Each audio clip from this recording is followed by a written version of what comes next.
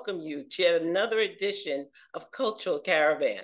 On this edition is a special because we're going to talk about a award-winning documentary that I was very proud to be part of, which is AJASS, Pioneers of the Black is Beautiful movement, which was premiered May 2022 in New York City.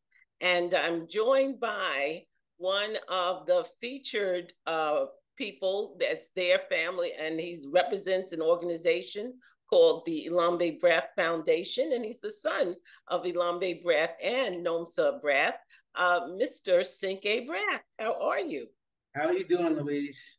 All right. Well, I thank you so much for joining us. You know, uh, last year up till now, it's just been phenomenal. When I think about the process that we took in, in 2018, you and um, Bob Gumbs, who unfortunately is now an ancestor, um, were really that first force that really supported me as I was about in the process of pulling this story together.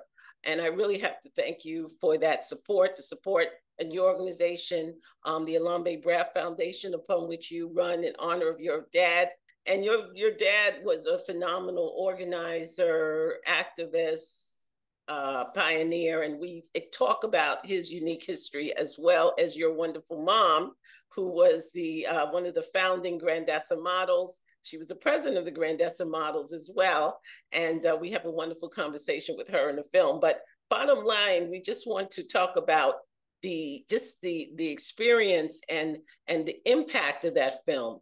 Um, so the film now is in its uh, first year of of being screened at various locations, and uh, um, just for those who haven't seen it, we want to give you um, show you a quick um, trailer of it. Let's just pause for that.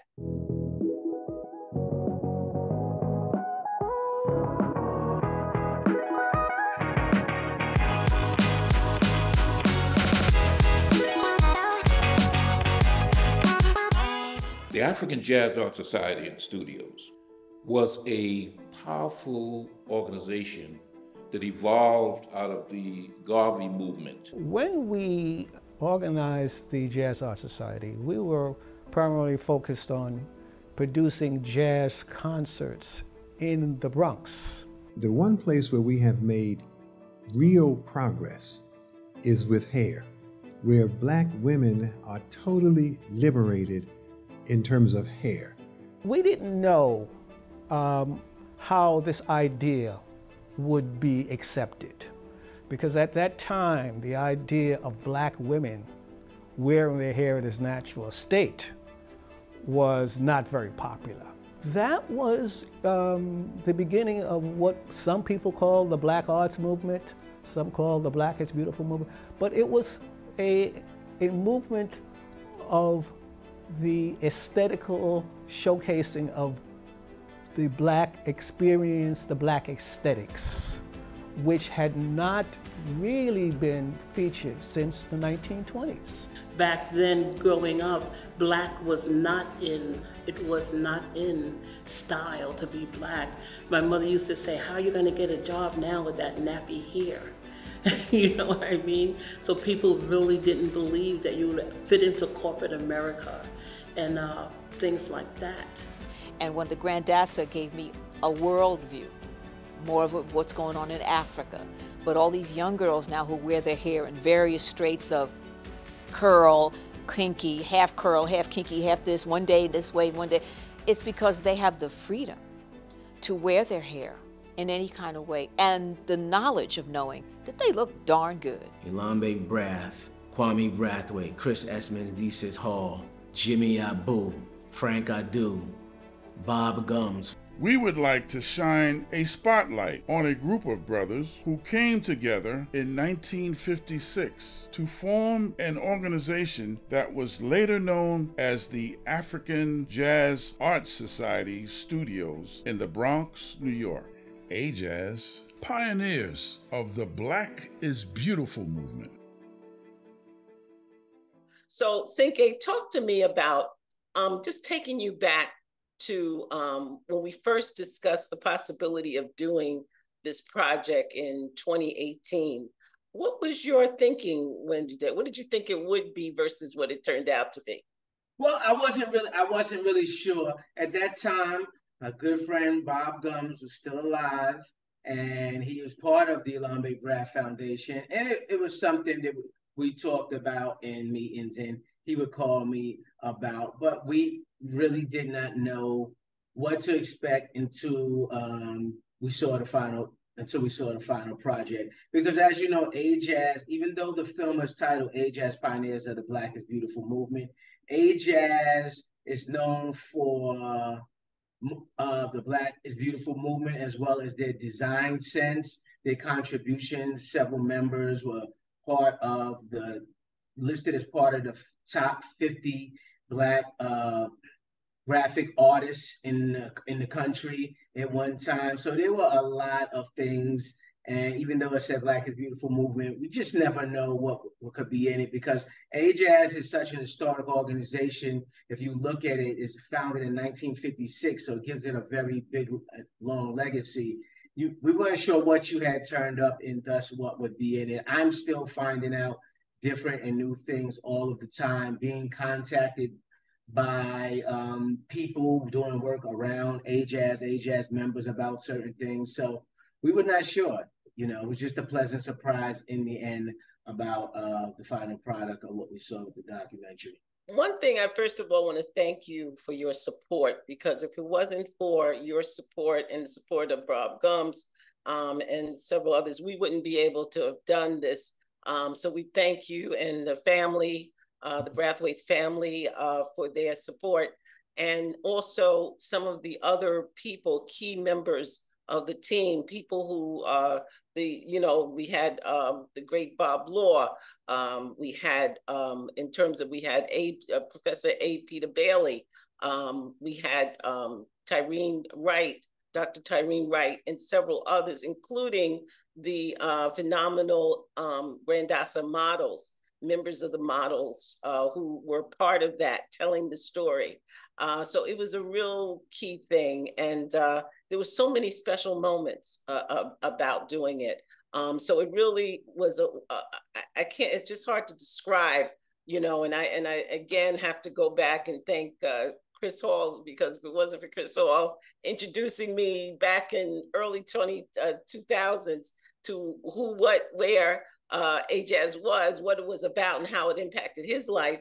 And we'll, you know, in the in the film, just so I can just give context for those who are not familiar with the film, the film basically chronicles uh, from the inception of AJASS in uh, 1956, where you had these group of creatives, um, uh, uh, people such as your dad, uh, Elombe Brath, your uncle Kwame Brathwaite, um, Bob Gumbs, uh, as well as uh, Frank Adu Robinson, who was an actor. Um, and uh, let's see, trying to make sure I'm not forgetting anybody. Um, you had Ernest was, Baxter in there. Okay. Mm-hmm. excuse me?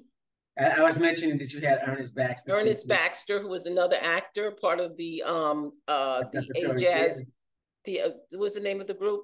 AJASS Repertory Theater. Repertory Theater, and and um many others who basically came together first to preserve uh, to bring jazz to the Bronx, right? That was one of the main. Yeah, to preserve jazz as an African uh, art as, a, as original African art form first, and then through their meetings, interaction with um, the uh, the great Carlos Cooks and the Garvey movement, realized that they took on another mantle, looking at uh, validating the unique beauty of the African woman, and particularly looking in that with the Grandassa models becoming a key symbol of that. And, and so it takes us to understanding that the challenges that this group of Black women who became the, the on the vanguard of, of really introducing and really looking at the Black uh, community and looking particularly at us, our uniqueness. Um, so it takes us to those different points in our history, and it's a real serious history lesson. And it was just interesting. Um, and that I remember we had at the um, at the uh, screening on May of 20, May 15th, 2022, we had the uh, one of the, the ambassador from uh, Barbados. Yeah, the, okay. the consulate general from Barbados. Yes, the consulate general. Mackie Holder. His math, yes, Mackie Holder and his wife. We had um we had a state senator, okay. Mm-hmm. Um, Cordell Cleare. Cleare, um, Baghdad Cordell Cleare, um, who gave us a um a very distinct proclamation. Yeah, um, this is it right here. Yes. Okay, and so um, declaring that AJASS Day, which was wonderful. Mm-hmm. Um, and we just had a full house, and it was at the historic Dwyer Cultural Center. Uh, so it just couldn't have been better. It was just a wonderful evening. Um, and, you know, the interesting thing about it, um, not only, as I said before, it was a real great celebration. People had a chance who hadn't seen each other in years, had a chance to come together and fellowship and then, of course, I think the most interesting thing at all is what happened after um, the the celebration. After the um, there was a brother uh, by the name of Evan Bishop and Katori Parker Walker Walker, mm-hmm. who uh, brother and uh, a male female a team a couple who are artists and um, muralists who were inspired to create a mural on 125th Street. Tell us a little bit about how you met them.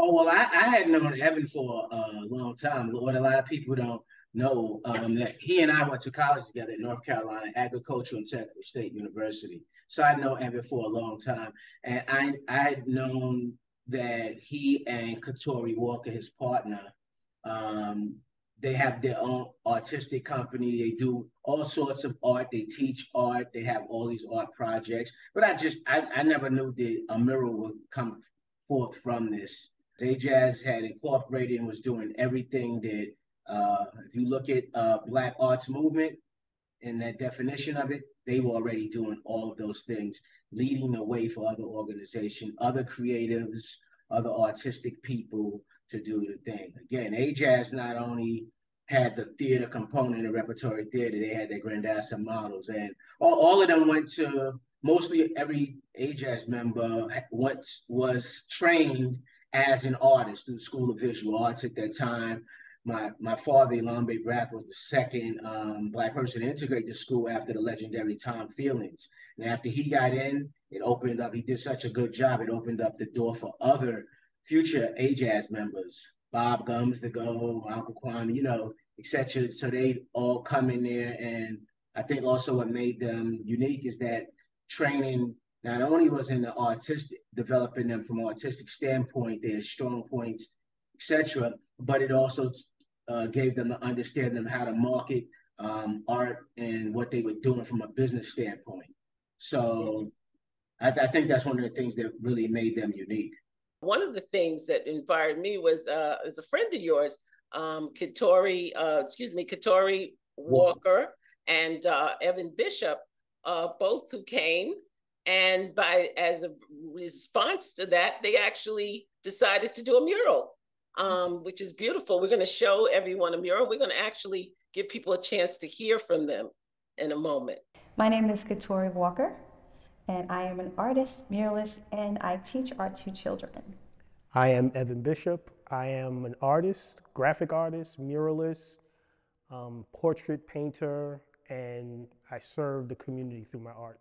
Katori and I met um, at in Westchester. There was a Harlem Arts, uh, Harlem Fine Arts show in Westchester, and um, she came to to see the art. I was there to showcase my art, and when we got to talking as artists. And really, as she said, her Katori kids blew me away.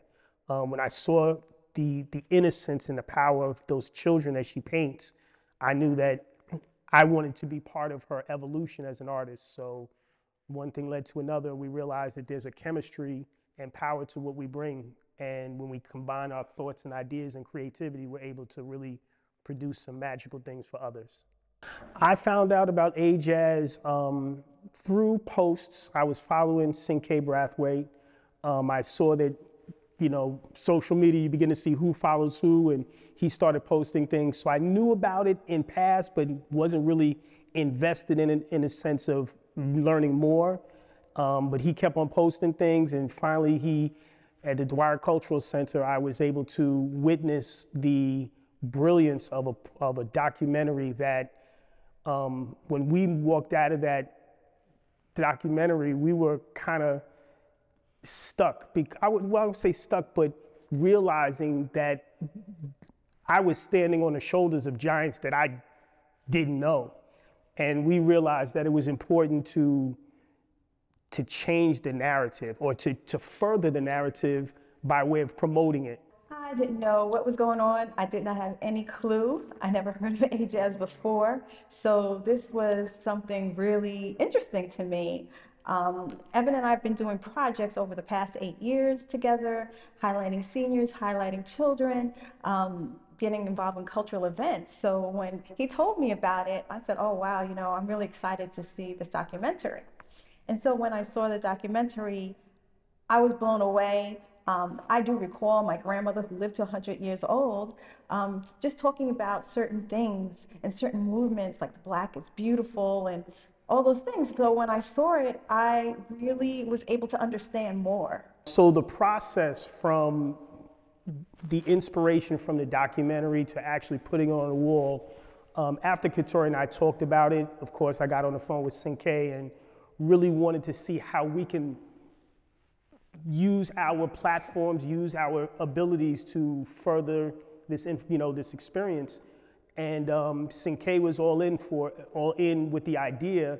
So what we did is we contacted an organization that curates murals in Harlem called Uptown Grand Central. Yeah, Uptown Grand Central. And um, Carey King, she, um, she put the thumbs up, she and it was it. she loved it. But and what was good about it is that this year was like an off season for her curating, and we kind of held a prominent spot on 125th Street. Two spots. Two spots, yeah. Um, and we, we, it was good because we didn't want to put it on an off street. We, we realized that right in front of that bus stop, right on 125th Street, where thousands of people would go, that's just, you know, coming back from going back to, to my background of graffiti art, it's about the prime, prime real estate. Where can you get up? Where can you put something to make, to force people to see what you have? And so we went through a series of, of sketches and renditions, renderings before we agreed to showcase, show it to Cinqué. And I'm a portrait artist. And of course, I, I felt like it was a great challenge to capture the likeness of, of these brilliant men, the founders.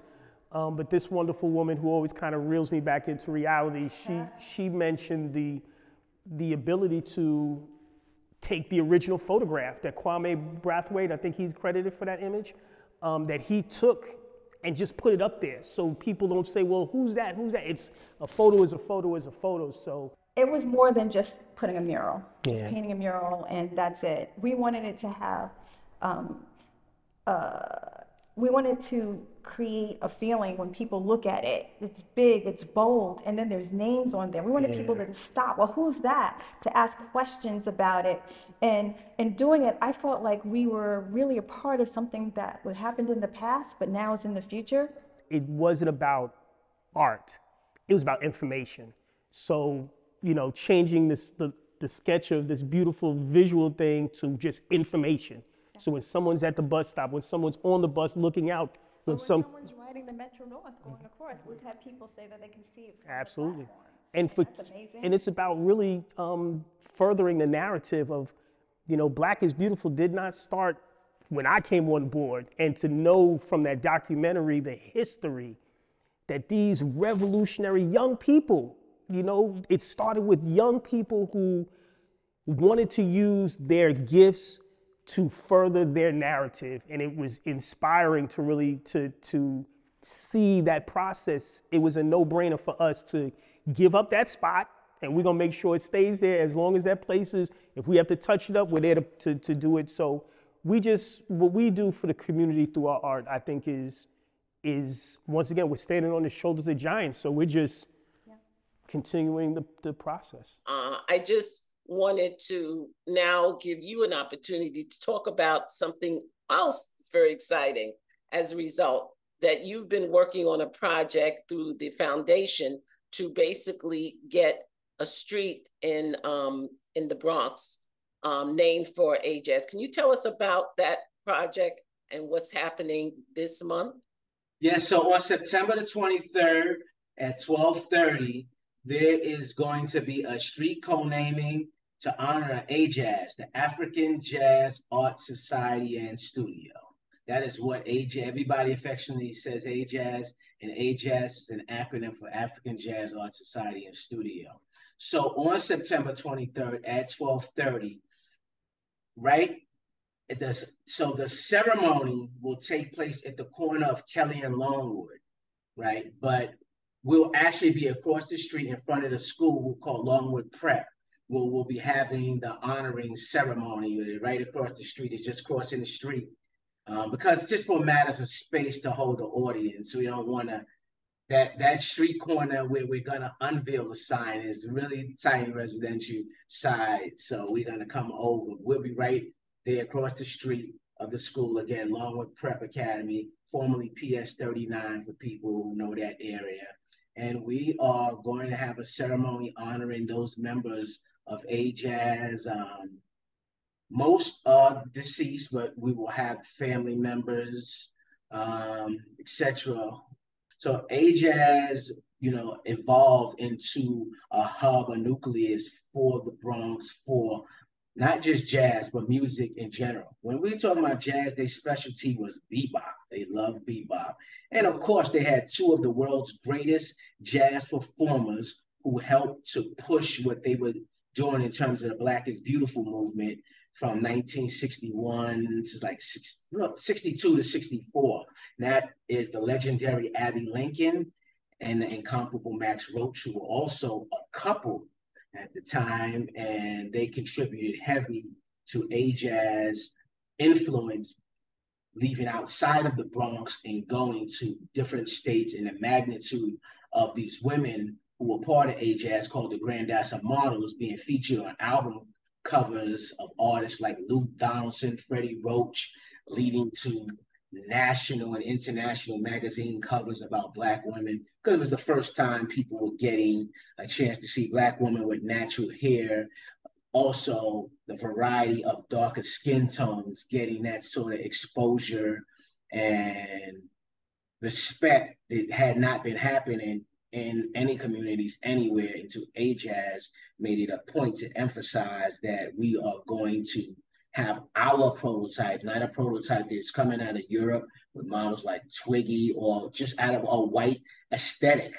They were going to change all of that. And we, AJASS realized you had to change it within your community. This wasn't about what white beauty agencies or whatever like that were doing. In fact, AJASS was, although they had models, the models were for our community it's going to be from 12:30 to when? Two 2:30. hours to 2:30. Yeah, 12:30 to 2:30. Okay, so people really need to get there to if they want a seat and whatever, and if they have. Well, you know, some people will be standing. We don't have seats for everybody. We'll probably have about 75 seats. We have several uh, elected officials who've been invited. We have, I mentioned some of the speakers from different historical societies and documentarians as well as um, family members and Grandassa. We probably for the general public, we'll probably have about 30 seats. But the way that, the way it's constructed is really open,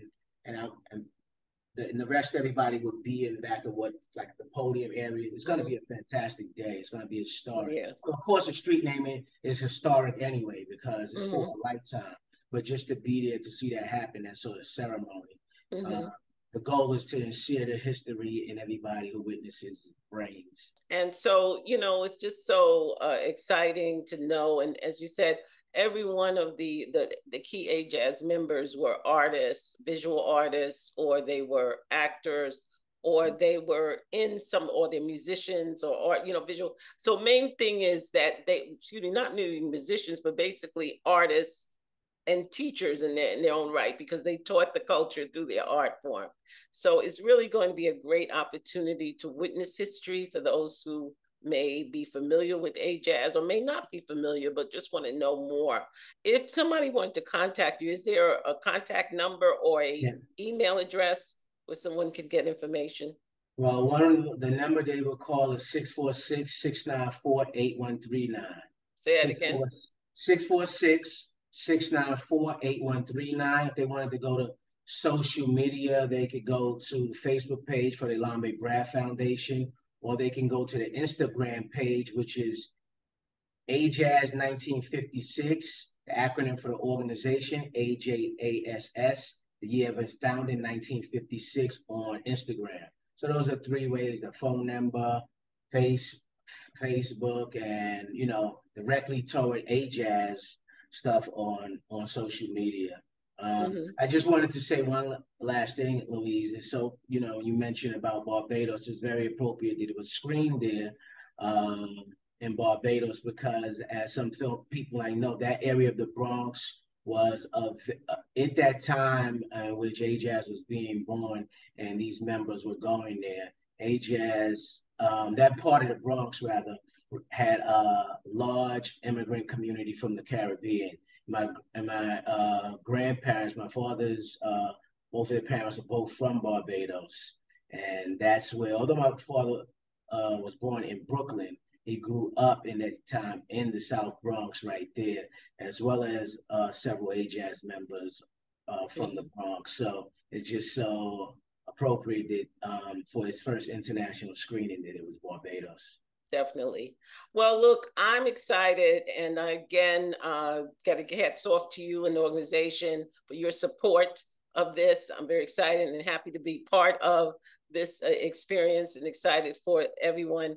And we encourage you to uh, those in the audience to take advantage of this opportunity to witness history with the uh, unveiling of AJASS Way. I understand it's AJASS Way, um, and to really get a chance to see the film. But again, um, I want to thank you so much for joining us uh, today, and uh, we look forward for more information about this award-winning film and the next steps to a lot of exciting things happening around AJASS and its members. Well, listen, I know you're you're a mover and a shaker, Cinque. It's great to have you here with us today. And we look forward to opportunity to talk to you again soon.